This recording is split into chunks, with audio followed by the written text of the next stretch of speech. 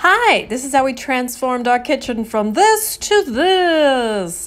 First, we had to take this chimney out. It was quite a process. Robbie literally knocked it out brick by brick. I hauled the bricks out to the yard. And we had a big hole that we had to patch, and he had to match the hole in the floor with the old wood. But voila, he did it. Then we painted from gray to white a nice white base, and my four year old was able to help.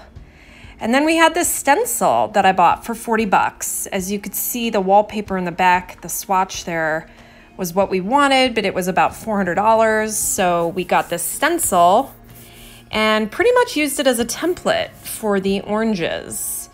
Um, we originally were gonna draw the leaves, paint the leaves there, but we decided freehand painting the leaves would be a little more whimsical and prettier. So we just used the oranges for the spacing, and then Robbie added the leaves by hand. And it looks really cute and kitschy and 50s, and really transformed the kitchen from sort of cold and dated to this 50s delight.